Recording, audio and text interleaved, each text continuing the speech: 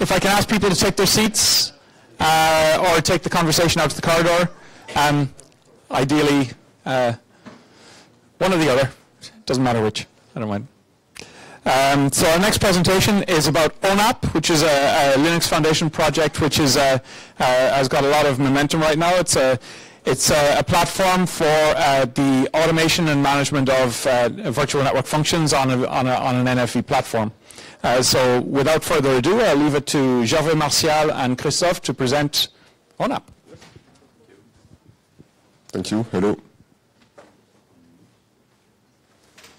It is coming. Okay, so bear with us one second until the computer starts. Um, maybe we can uh, introduce ourselves. Yes. So, So um, we work for AT&T in Namur. Um, I graduated, I graduate from ULB here, so I'm kind of home. and um, we've been working on uh, software development since many years, 20 for me and 15 for um, Christophe. yeah. And Yes, we've been into this uh, industry for quite a few years now. Uh, let me start the presentation right away. Okay.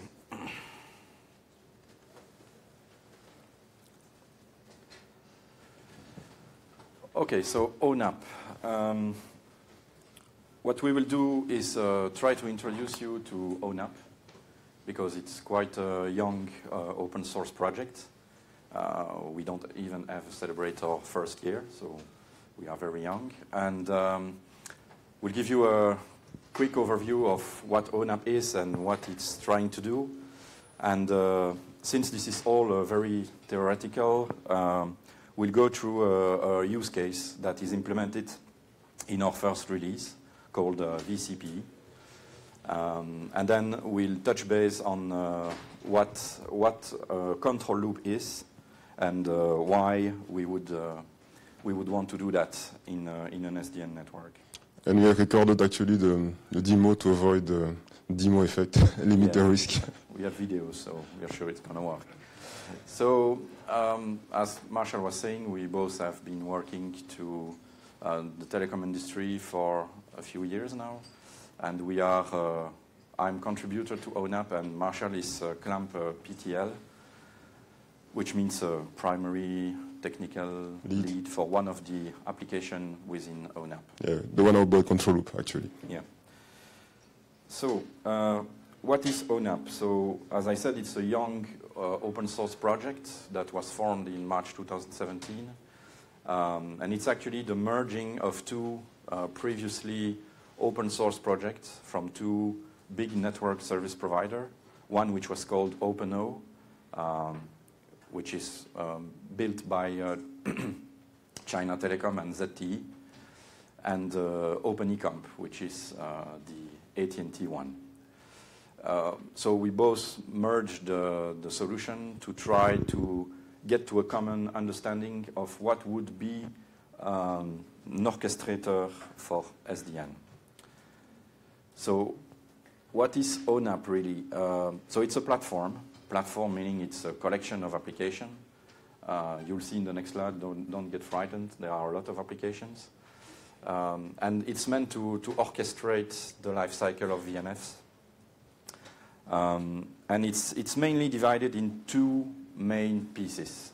Um, on the left of the, of the graph, you have what we call the service and recipe design. So this is really what we call the design time. When you speak about uh, VNF, uh, it's not just only about taking one and loading it up in the, in the network. Most of the, of the time, you want the ability to combine them uh, to create something a little bit more innovative or something that gives a, a, a competitive edge. So you want to have uh, something that allows you to uh, mix them up, test them, design them, certify them, uh, make sure you also put some room for licensing, um, because obviously we, we all like open source, but there are uh, commercial products out, there, and uh, you want to be able to meet both worlds. Um, and once you've done that, you, you want to push that to what we call the runtime. The runtime is really the thing that's going to do the orchestration, going to instantiate the function in the cloud, and uh, do all the lifecycle management. So this is the architecture. As I said, it's quite a few applications. Uh, so on the left, again, uh, the design part, where you see uh, where we have the VNF SDK. So that's an SDK that allows uh, VNF uh, to be built for ONAP. We'll touch base on that a little bit later. Resource onboarding, service production design, policy, uh, all the, the things that you want to create and then store into a big catalog database. Um, that's when it's certified, is then pushed on the right to the uh, runtime environment. The runtime environment being mostly the orchestration part, so the service orchestrator, which will um, execute the, let's say, blueprint, recipe, whatever you call it, that will really instantiate the thing on the network. And you have um, also on the right something called ANAI, which is a graph database to store and keep track of what you've created in the network. Um, and then a, a data collection uh, engine that is uh, able to get events from these VNF and uh, run microservices uh, on top of it to, well, you know, do, do some analytics and take clever, uh, clever advantage of the, of the all the programmatic uh, environment that we have. And the policy framework, which Martial will tell you about, which is involved in the in the closed loop area. And then below we have uh, adapters, um, which is essentially the, the thing that the orchestrator triggers uh, to connect to the to the different uh, clouds and uh, execute the uh, the recipe. Okay. So enough for the theory. Let's take a proper use case. Um, vCPE is one of our first use, use case that has been implemented in our first release called Amsterdam. Uh, it's very new because it's uh, from November last year. And this is about uh, moving from the traditional um, uh, residential gateway that you probably all have at your home. Uh, these little things are doing a lot of uh, functions if you look at them. Um, and it's actually quite been a, an arms race really from the, uh, from the start. Uh, you have multiple versions of them. Some are doing uh, um, even uh, DLNA or, or really advanced cool stuff that you can have on your home. But the problem with that is that it's an, it's an expensive piece of kit, which, which means, and it's also very rigid in the, in the sense that most of the network service provider, they have one flavor of that. And uh, to avoid that you tweak too much with them, they, they limit it, uh, they limit the access to it. And really, um, some people are also staying on older version of these box and are unhappy. Uh, it's also a very uh, time-consuming and resource-consuming thing for network service provider to, uh, you know, have some call centers to fix these, uh, or have even some people going to your home to try and fix that uh, if something goes wrong. So um, there is an, a specification by the broadband uh, forum called END, um, NERG, Network Enhanced Residential Gateway, where what we will do is essentially strip that box of the complexities that it has, have something very simple, uh, a, a, very basic hardware uh, that will be deployed at your home. Or for that matter, you could even think uh, not replacing the one that you have and just put it in bridge mode uh, and move all the networking functions as virtual functions in the cloud of the network service provider. Um, this will actually trans translate all these to virtual functions. So they, these virtual functions can be um, on the on the operator's cloud, and we call that the edge cloud. So uh, you'll see in the coming uh, years more and more small data centers that are going to uh, pop up in uh, big cities, and where these network functions will be actually running. Uh, the advantage of that is that uh, you delegate all the um, maintenance of the softwares to the network service provider. And uh, for people who don't need uh, some of the specific uh, super cool function, you may even think that you don't have to pay for that. And you can have a very simple, just uh, internet gateway, and for people who like to, you know, share their videos or even have access to uh, content that would be closer to your uh, home on the edge data center, be able to stream directly from the network operator data center. So um, if we want to orchestrate that into uh, ONAP, well, we start from specification, which is actually doing exactly what I said. It's um, stripping the um, function of the residential gateway in two, one which is virtual on the right and one which is physical on the left. Um, and um, what we did with ONAP is try and simulate uh, the use case. Uh, we didn't have uh, an open source home to use, so we simply created some emulators um, to simulate the home network. We have actually two gateways there, and we created some infrastructure uh, VNFs that are uh, actually mostly already there in the network uh, service provider environment. So this is all software, and uh, we want to load that software into ONAP. So that's the design part, remember? We take this approach and we will design our uh, or VNF uh, with that in mind. So we need a function for all of these boxes. Um, and then we will uh, load that into ONAP and uh, run this uh, orchestration so that it spins that up. On the far right, you have a small web server, an Apache web server, to show that we've established connectivity between uh, the residential gateway and what would be the internet or whatever provider you could, uh, you could think of. So uh, what do we have to do? Well, we have to uh, upload a descriptive model of the virtual function. Right now, um, ONAP supports Heat, OpenStack Heat, and Tosca. Uh, we have to run through all the onboarding uh, uh, piece and then uh, create the catalog entry and do the certification and distribute that to the runtime. So what did we use to simulate all that? Well, you have here all the list of open source that we, that we used. Uh, so VPP that you heard about just before to simulate the residential gateway, and some other uh, open source software to create the VDHCP, VAAA, and VDNS. So uh, the descriptive model, uh, just a look at it, it's, a, it's a, a collection of YAML files with some, uh, with some uh, tree dependencies. You can define variables. And you see it's essentially, if you look at that in red, defining what flavor of VM we need to run the software on, uh, what uh, networking we need to establish, and then uh, a series of scripts to uh, actually download the software on the VM, start it, configure it, so that the cloud understands what we want to achieve with that.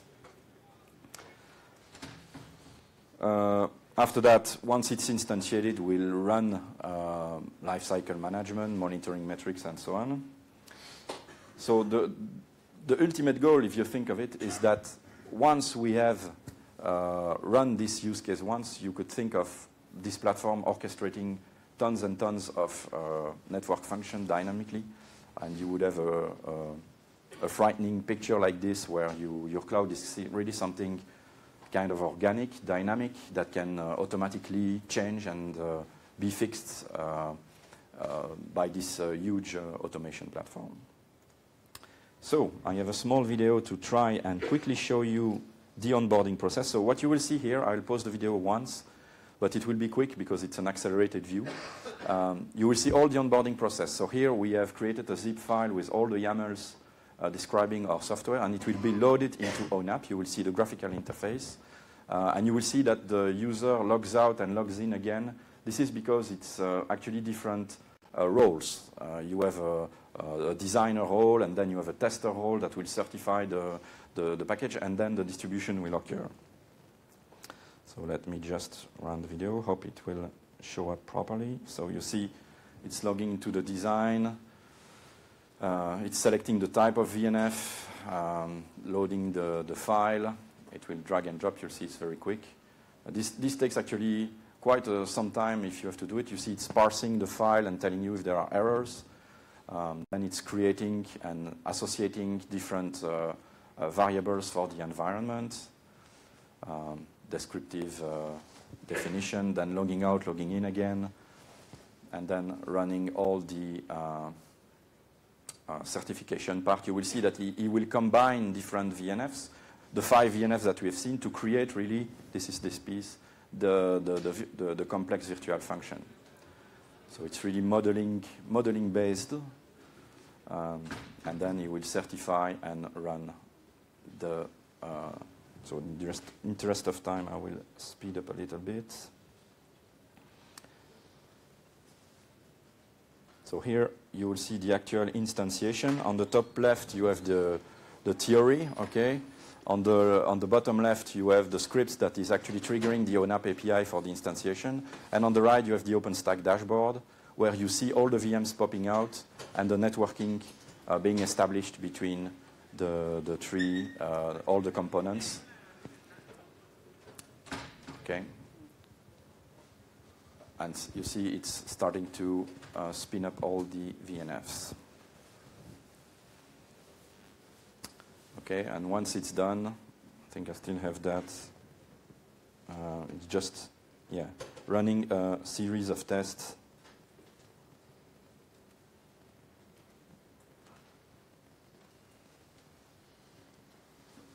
Okay, no, probably it's in the next video. Okay, so that's it for the instantiation. Now Martial will tell you about the control loop. Yes, so after your VNF has been instantiated, uh, you need to, to have um, some tools in order to take care of the life cycle of the VNF and to take actions in case of, uh, of issue. That's where the control loop uh, comes the picture. So it, it has different pieces. So the first one being about collection of the of the data you need to uh, to use to um, compute your KPIs, etc. And that collection is done on the DCAE platform, which is the um, data analytics that um, Christophe mentioned about in the ONAP uh, list of application. In, it's also on top of that uh, analytics that you will run the um, microservices that are going to do the computation on your data to um, detect eventually issues. And then you need to, um, to take actions. Uh, those actions are done through policy, which is um, a big set of rules uh, that are triggered by the microservices that are running on DCAE to say, okay, um, uh, this, this, is the action that I need to take. And that action might be um, uh, asking the application controller, which is also another part of the ONAP, to restart or to um, uh, or to migrate to a new software, uh, depending on the type of issues. And this is the closed loop part. You have also another kind of action, which is uh, more the open loop, where you will send a message to um, an external ticketing system for a human to take an action because that's the only way to um, to solve the issue. So for the control we have also two main areas of um, which are the design time and the runtime. During the design time, you will actually um, stitch together the different microservices that you want to, uh, to use to uh, exercise your control loop. And then you will um, out of after after having stitched together all those uh, microservices, you will generate another YAML file that will describe uh, that control loop in a way that is uh, understandable by um, the DCAE uh, application, which is uh, running a Cloudify um, uh, to, um, to, to, um, to spin up the microservices. And then you have the, the runtime part, which is really about um, uh, configuring the control loop, uh, triggering the deployment, and uh, taking care of the life cycle of the, of the control loop to see uh, uh, if you need to start, stop, or, or your control loop, if there is some issue with the control loop itself, and uh, if you want to, um, for instance, update the, control with new parameters, that is done um, uh, during the lifecycle management. So this is the overall view of the control loop. So this is the DCAE platform where um, most of the work is being done. And you see that here uh, the VNF are going to send um, data to, um, to DCAE. Right now in ONAP, we are trying to use the VES format, which is um, a format that has been put into um, place by um, AT&T to try to harmonize all the um, uh, alarms and KPI coming from the VNF in a single format to have uh, 10,000 format to support, which makes things more complicated. And then uh, once the, those data has been collected, they will go through different microservices. And at the end, um, the last microservice will trigger uh, a policy depending on what you want to do uh, as action. And that policy will then trigger um, maybe application controller or maybe SO. If, for instance, the action is to scale up a new VM, then you can trigger uh, the, service orchestrator to trigger that, um, that new VM.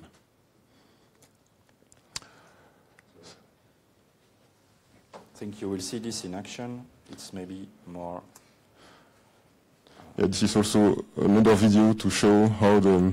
So you see here packets going through, and uh, one of the net VNF on the vCPE has some packet loss uh, which are acceptable, but at some point uh, the threshold will be, and you see it's reporting VES events to DCAE, which is not taking any action uh, right now, but uh, you will see that we'll reach the threshold where it becomes not acceptable anymore, and that will trigger the action on the control loop. Uh, you will see that will become red in a few seconds. And DCAE will then uh, forward this to um, to uh, policy, which will, here it comes, you see it's becoming uh, unacceptable, and then DCAE will trigger the policy, which will actually then trigger AppC to reconfigure the, the VNF, which is rebooting, Yeah. in this case, the usual reboot, right? And no telemetry during that time, and once the conditions are fixed, then the closed loop is complete. So you should also notice that in the control in the control loop or closed loop in this case, um, sometimes the action will continue be, uh, on being tried until uh, a signal is, is, is, is given back to the control loop to say, okay, the, um, the issue has been resolved, I can stop trying to, to solve it. Okay, it's the end of the presentation. Yes, right on time. right on time, yeah. Don't know if there are any questions. Thank you. Any questions? I have a question.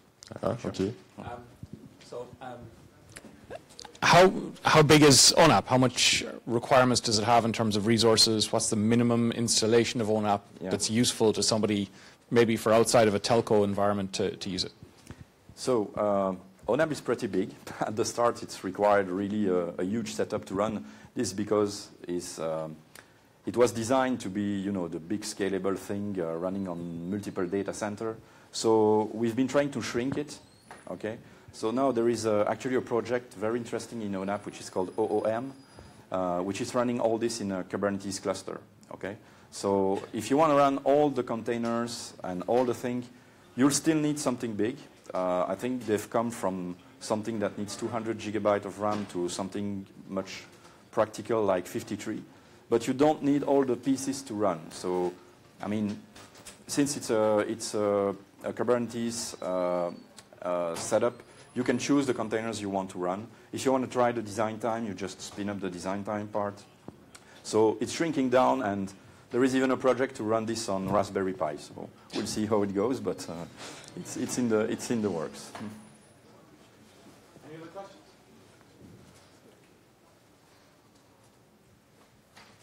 Are you. So the question is, do you want to support only OpenStack? Well, the, the answer is no. There is a multi-cloud uh, uh, Multi- project and multi-Vim, Multi-Vim. uh, where right now we support OpenStack because that's our legacy, but no, we will extend to other SDN uh, platforms, and uh, actually it's one of the of the of the topics for the, the, the future release. Yeah. One more question? No. Okay. Okay. Thank you.